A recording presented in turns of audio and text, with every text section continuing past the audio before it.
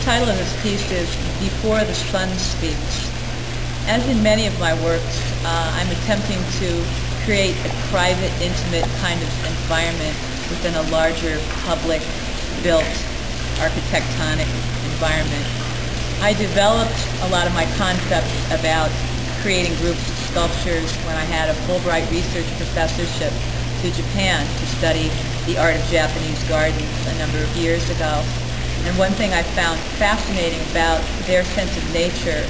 was how it could be controlled within sometimes a very limited confines of a small amount of space and how much it could be the art artist could speak to the environment, to the wind, the sky, water,